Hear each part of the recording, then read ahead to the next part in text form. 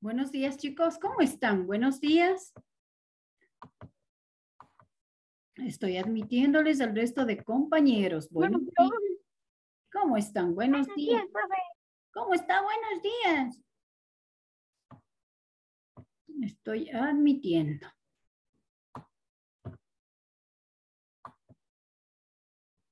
Bueno. Buenos días. ¿Cómo están chicos? Buenos días. Buenos, días, profe. ¿Cómo están? Buenos días. ¿Listo chicos? Profe. Dígame.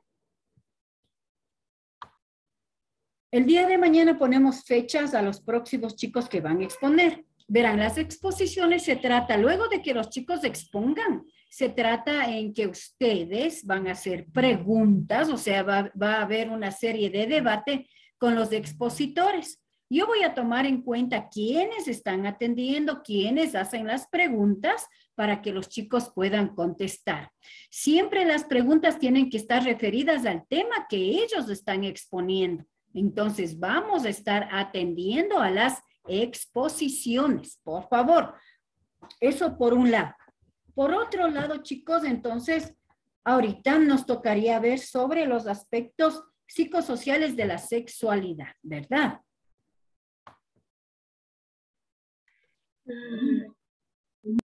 Niñas, a ver chicos, para ya terminar, concluir este tema, ¿tienen algún alguna pregunta sobre cambios en las niñas, cambios en los niños, algo, algo que, se, que estén ustedes en duda. A ver, no. ¿Listos? de... Listo, chicos. Entonces aquí yo les dije ayer que íbamos a explicar algo sobre la menstruación, ¿no es cierto? Entonces, aquí voy a explicarles algo que quiero que tomen muy en cuenta. Voy a ver si, si es que los marcadores me acompañan este, haciendo clarito, ¿ya? Entonces, chicos, aquí verán. La parte interna de las niñas tenemos, se tienen dos ovarios les tenemos aquí a dos ovarios.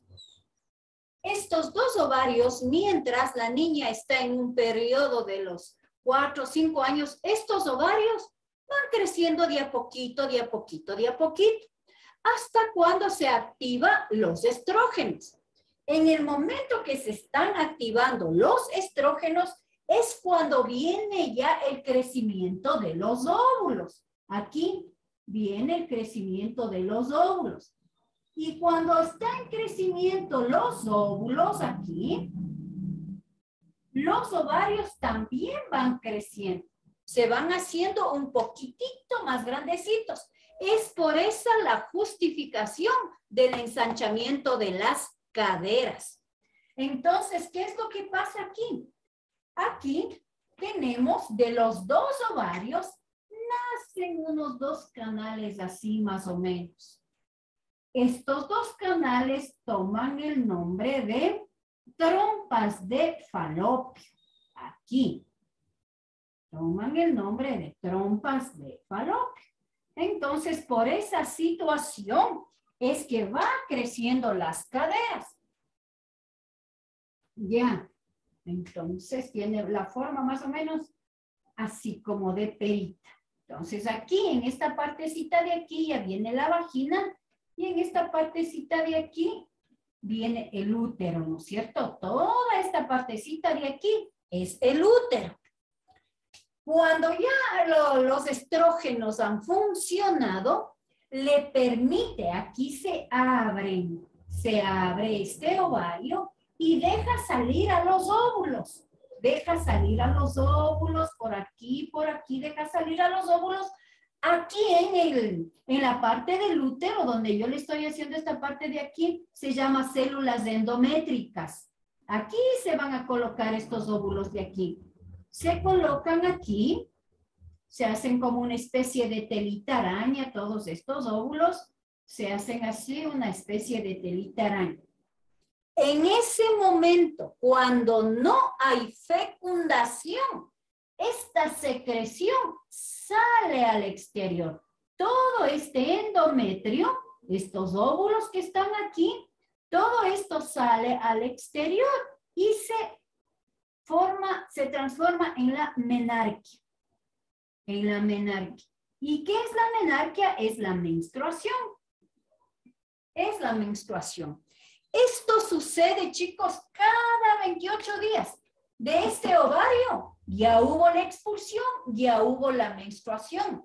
Mientras sucede eso, pasan 28 días para que se active este de acá y ocurra lo mismo. Esto de aquí es el ciclo menstrual. ¿Alguna pregunta, chicos? Entonces se van turnando. O sea, tipo turnando. va? Verán, esta palabrita de enfermedad está mal dicha. ¿Por qué? Porque una enfermedad lleva síntomas como de fiebre, ¿no es cierto? Entonces, esto, el ciclo menstrual es algo normal. Es la expulsión, como les digo, del, del, de las paredes del endometrio, se expulsa hacia afuera. Es un ciclo que estamos cumpliendo las, las mujeres de una edad determinada entre los 10, 12, hasta cuando los 50, 55 años. Y cuando inicia se llama menarquia. Y cuando termina se llama menopausia. Entonces, chicos, ¿qué es lo que pasa cuando hay la... ¿Perdón? Tengo una pregunta. Ya, a ver, dígame. ¿Por qué lo de las mujeres no dura para siempre? No dura para siempre porque... solo hasta los... ¿Por qué? ¿Por qué? Porque los, los ovarios, en el momento que todo el periodo fértil de la mujer están activos, cuando ya llegues a determinada edad, eh, los estrógenos dejan de funcionar. En el momento que los estrógenos ya cumplieron su meta, ¿qué pasa? Eh, en la juventud crecieron, pero ya en la madurez, entre los 50 y 55 años, los ovarios, los ovarios se van achicando, se van arrugando hasta cuando quedan del tamaño de una pasa, así arrugadito. Entonces, como no funcionan los estrógenos, ya no hay la formación de los óvulos y ya no hay menstruación. ¿Listo? Ahora. Sí, profe, gracias. Ya. No entendía. Cuando hay chicos, cuando hay la fecundación, quiere decir que ha habido la penetración aquí de los espermatozoides. Ustedes saben que los espermatozoides tienen movilidad, están en los días fértiles, ya las chicas si quieren conocer, yo les ayudo con una clase.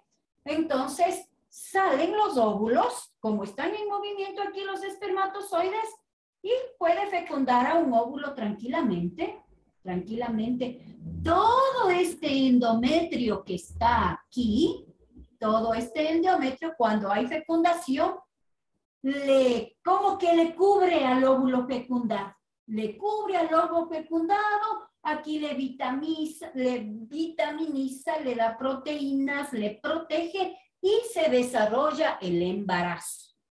Eso es lo que les quería explicar, chicos y chicas. Profe, pero una preguntita más. Cuando están embarazadas, Ajá. Eh, ¿Cómo les dan de comer a los hijos? A ver, tubo?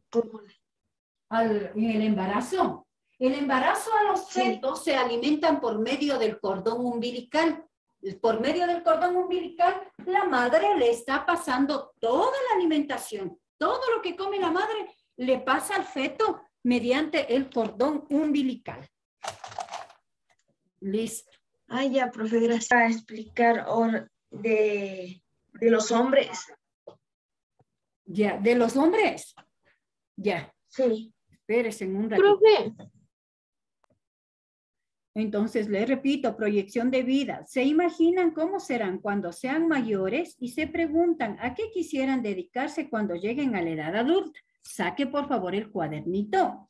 Saque su cuadernito y en el cuadernito va a escribir como título. En mi cuadernito va a escribir como título mi proyecto de vida. Entonces, ustedes, con todas las explicaciones que hemos venido dando, con la lectura que hicimos hoy, usted va a hacer su proyecto de vida. Ahí escriba proyecto de vida. Ahí usted le va a decorar, bien hacer, va a ser una situación bien bonita. Si quiere, le va enumerando. Uno, terminó la escuela, dos, tres, todo lo que usted se esté proyectando en su vida. Listo, eso le va a ser bien bonito, bien decoradito. Voy a fijarme. ¿cuál es el título? ¿Perdón? Profe, disculpe, ¿cuál es el título? Proyecto de vida. Proyecto de mi vida, perdón. Proyecto de mi vida. Listo. Eso va a ser tranquilito, despacito, bonito, organizando ideas, expresándose bien, gustos, disgustos y todo lo que tiene que ver en el proyecto de vida. ¿Listo? A ver, Dana. escribe los aspectos que según la OMC se determinan la, la sexualidad de una persona. OMS. Es, no, OMS no es OMC. ¿Cómo son los aspectos cuando, cuando están cambiando, cuando hay los caracteres en el cuerpo, los que se ven? ¿Cómo se denominan a esos caracteres? Aspectos biológicos. Muy bien, biológicos, psicosociales.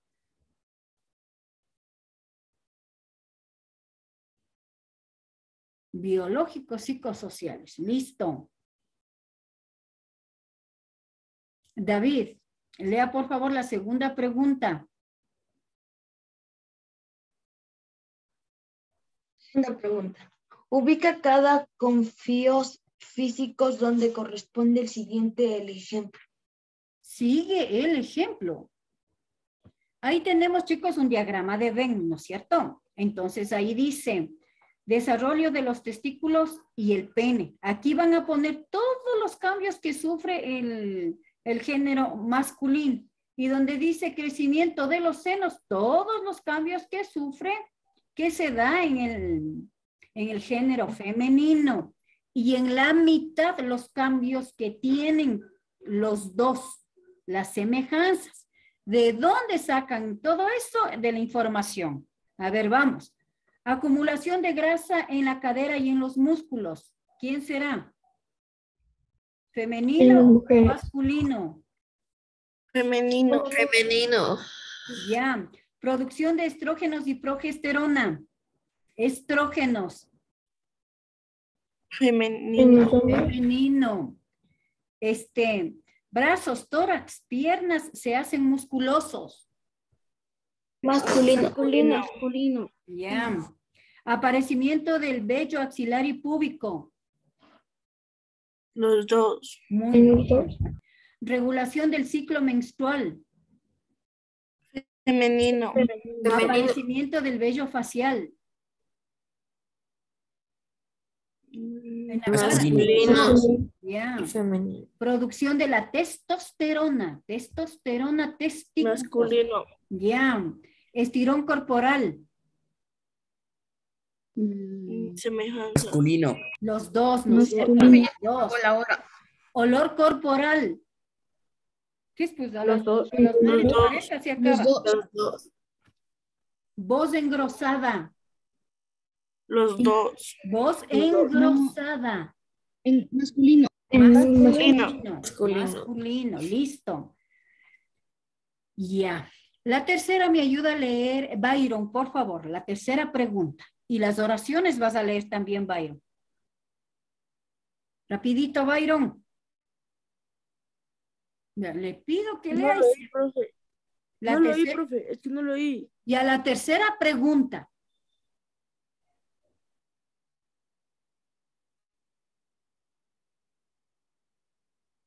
Ya, se, se dan cuenta, ¿no, chicos? Se dan cuenta. A ver, siga Matías Ramírez.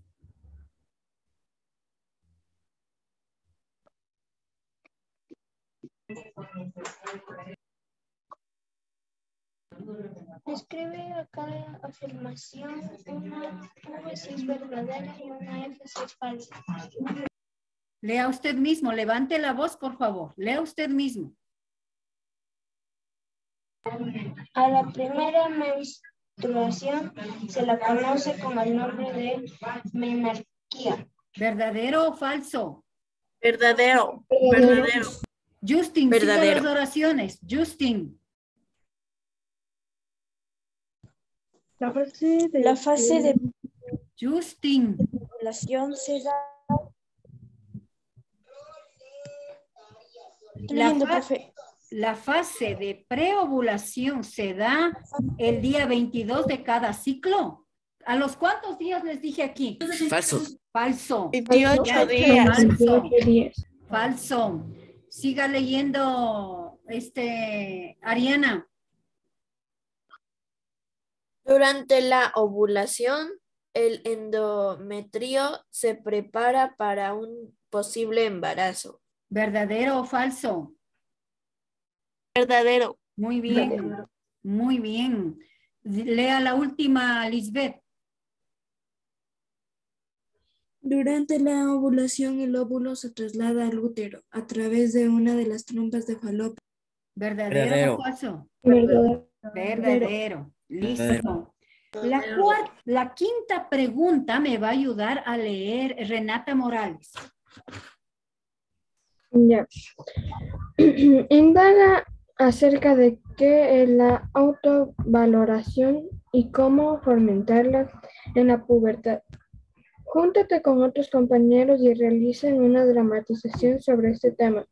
Elijan, por ejemplo, la aceptación de nuestro aspecto físico. Listo, entonces en el chismosito usted va a, va a completar con la indagación.